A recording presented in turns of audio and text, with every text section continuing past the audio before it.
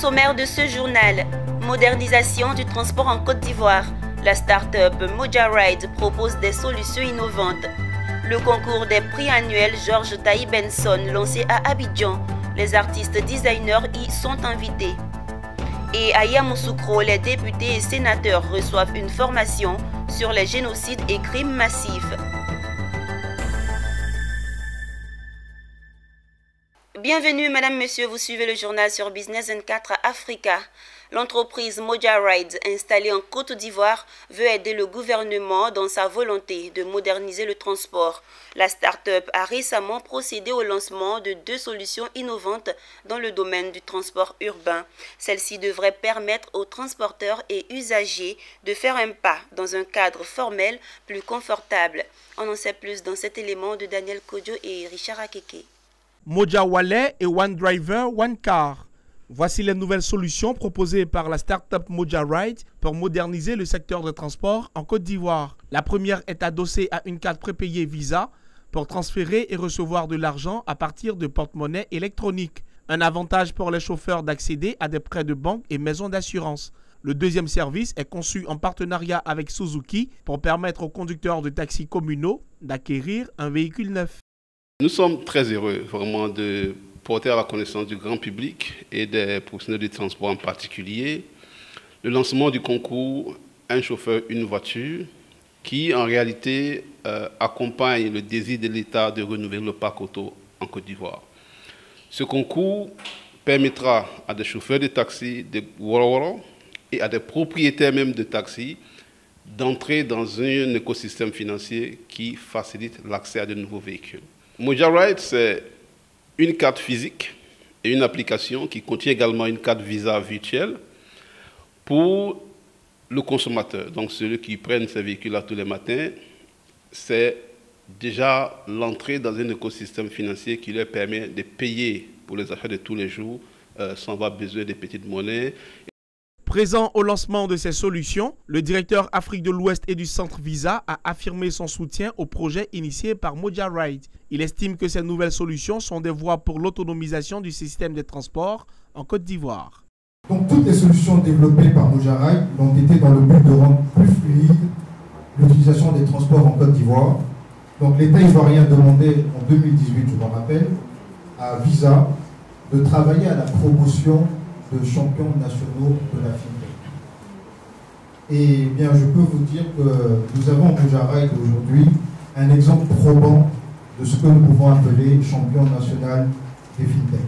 MojaRide est une start-up fondée en 2017. Cette plateforme de paiement digital est un agrégateur de services de mobilité dont les applications mobiles sont déjà utilisées par les transporteurs.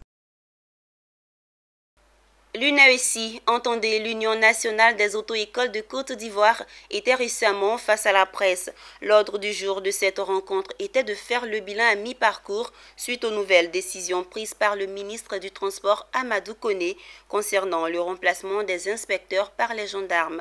Lors de cette rencontre, l'UNAESI a souhaité soumettre de vive voix au ministre de tutelle les difficultés auxquelles sont confrontées les auto-écoles de Côte d'Ivoire. Walter Kofi et Ezekiel série nous font le point Suite à des réformes prises dans le secteur de l'auto-école, les professionnels de la conduite réunis au sein de l'Union nationale des auto-écoles de Côte d'Ivoire, UNAICI, dénoncent les difficultés auxquelles ils sont confrontés. Coco Guillaume, président de l'UNAICI, a d'abord félicité le ministre des Transports Amadou Kone pour la réforme qui a permis de débarrasser les auto-écoles légales et professionnelles des auto-écoles florissantes et n'existant que de noms. Il a ensuite évoqué la réduction du nombre de candidats demandés pour les examens, un nouveau chiffre jugé insuffisant pour les propriétaires d'auto-écoles. L'UNAICI souhaite une intervention du ministre. Désormais, que les Ivoiriens sachent qu'un permis de conduire, ça se mérite, c'est un examen. Et que là, les évaluateurs que nous avons souvent le font correctement.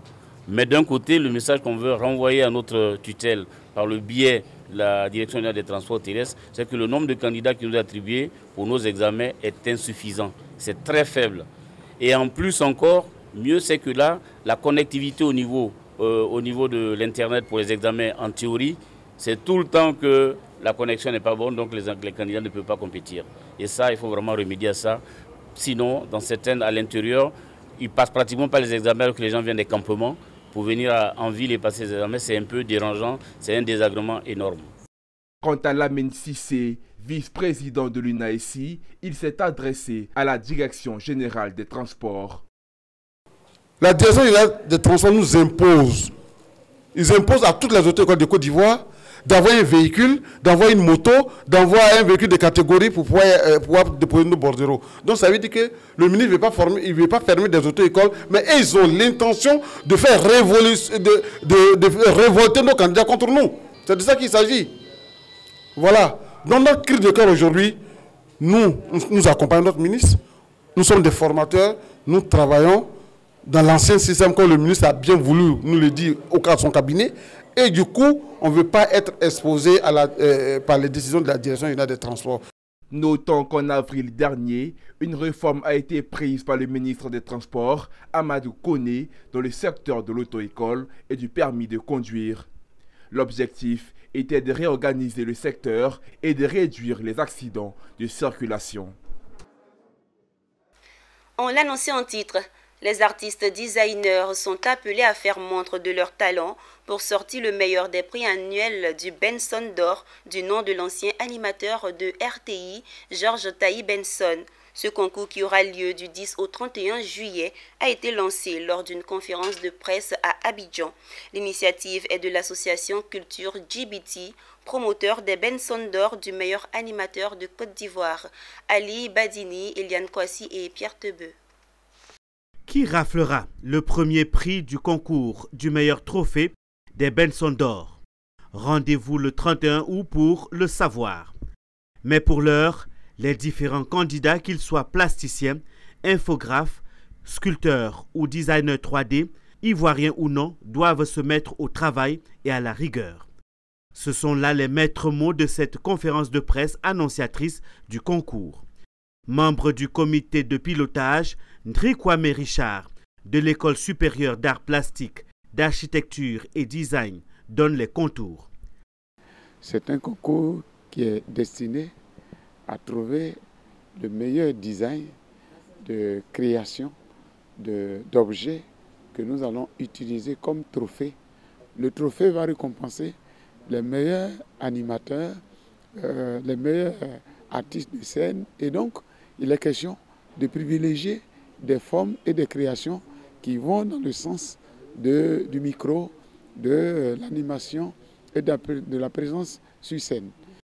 Le jury du concours sera présidé par le professeur Yakuba Konati. Le meilleur sera récompensé à hauteur d'un million de francs CFA et portera le nom du Benson d'or. Pourquoi Georges Taï, le secrétaire général de l'association GTB, Sissé Oumar, a une idée? Tout le monde ici en Côte d'Ivoire connaît Georges Taï Benson. Tout le monde connaît la qualité du travail qu'il a effectué au sein de la RTI. Et c'était un moment pour nous qu'il adorons bien, qui Parmi, nous, certains amis ont, euh, intégré la communication ou l'animation à cause de ce monsieur, parce qu'ils ont apprécié sa manière de faire. Un hommage de son vivant, Georges Taï Benson, alias GTB, se dit heureux et fier. Notre plus grand salaire, notre plus grande satisfaction, c'est que notre travail soit reconnu, surtout de notre vivant. Que notre travail soit reconnu surtout de notre vivant, j'insiste. Il faut ajouter que la nuit des Benson d'or pour le meilleur animateur de Côte d'Ivoire se tiendra quant à lui le 25 janvier 2022 à Abidjan. Pour ce dernier prix, le jury composé de professionnels de la communication sera présidé par l'ancien ministre de la Communication et de l'Information, Daniel Boni-Claveri. Le collège catholique Kirman d'Abengourou, dans le cadre des festivités de fin d'année scolaire, a récompensé ses meilleurs élèves lors d'une cérémonie organisée dans l'établissement. La cérémonie a été l'occasion pour les anciens du collège de faire don d'environ 400 livres afin d'équiper la bibliothèque de l'établissement. Walter Kofi nous fait le point.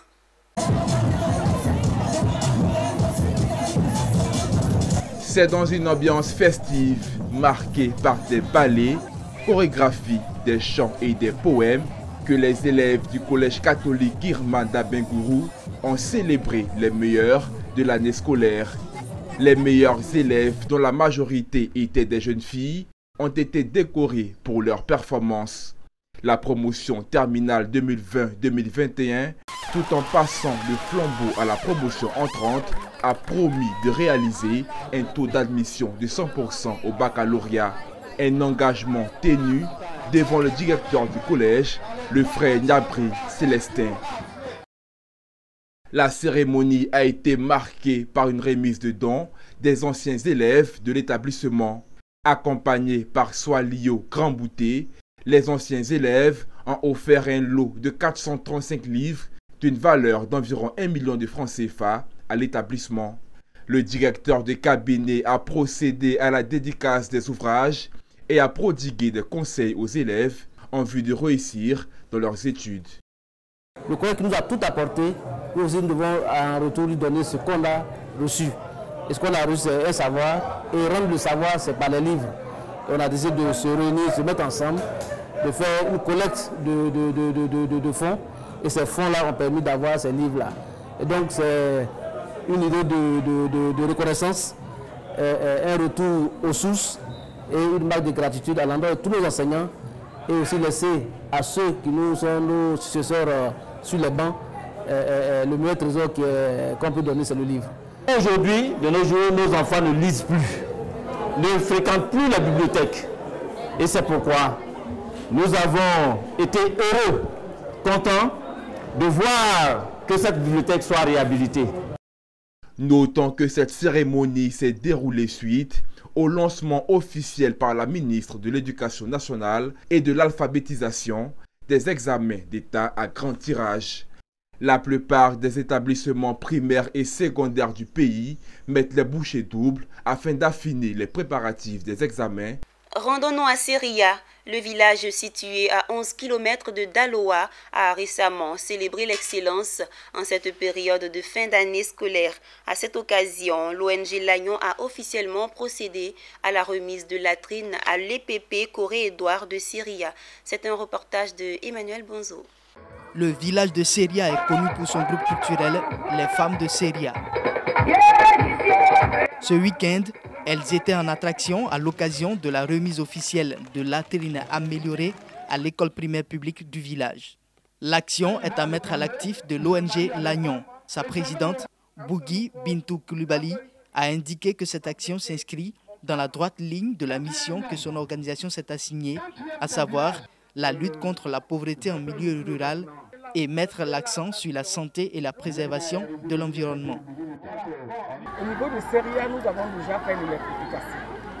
Vous avez même assisté à la remise, à la mise sous tension. Et aujourd'hui, nous avons décidé de, rester dans notre canevas, qui est le bien-être de l'enfant. Qui est le bien-être de l'enfant. Je suis venu à Seria, je viens tout le temps d'ailleurs. J'ai constaté qu'au niveau de Seria, il n'y avait pas de latrine. Alors je suis venu, j'ai visité l'école un peu et j'ai décidé de faire de latrines au niveau du village. Autre temps fort des festivités de fin d'année scolaire à Seria, l'ONG Lagnon a aussi récompensé les cinq premiers des classes du CEP2 au CM2. Les lauréats sont repartis avec des kits scolaires. Cette cérémonie de remise de latrines améliorées et de célébration de l'excellence à l'école était parrainée par Koulibaly Noun, président directeur général de société. Elle a été rehaussée par la présence du sous-préfet de Daloa, Massouma Meite, de Nyoleba Guillaume Guillaume, chef du village de Seria, du représentant de l'inspecteur de l'enseignement primaire de Daloa 3. On a accepté de parrainer parce que ça, ça, bien avec notre philosophie du partenariat public-privé. Soulignons que l'école de Seria a vu le jour en 1958 avec à son actif six classes. C'est dans une ambiance festive organisée par les femmes de Seria que la cérémonie a pris fin. Direction Yamoussoukro. La coordination africaine des droits de l'homme pour les armées CADA poursuit son programme de dissémination au sein de la société.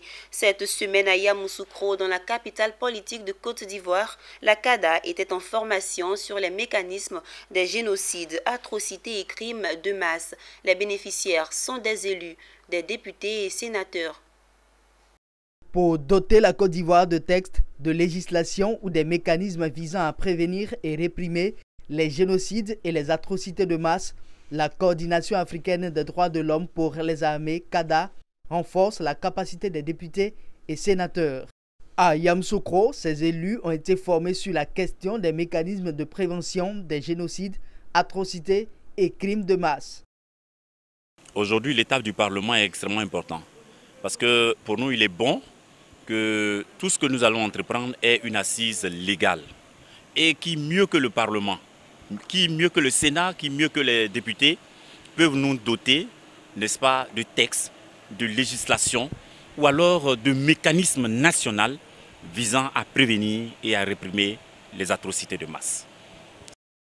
L'initiative est saluée par les parlementaires.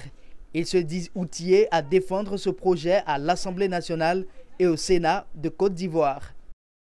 Il s'agit de voir comment notre armée l'armée qui est le symbole de la stabilité des institutions de la République, l'armée qui incarne la sécurité au niveau populaire, peut interagir avec la population dans l'intérêt général.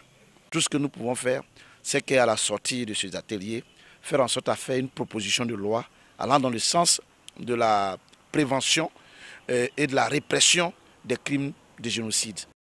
Le génocide, qu'il soit commis en temps de paix ou en temps de guerre, est un crime du droit des gens.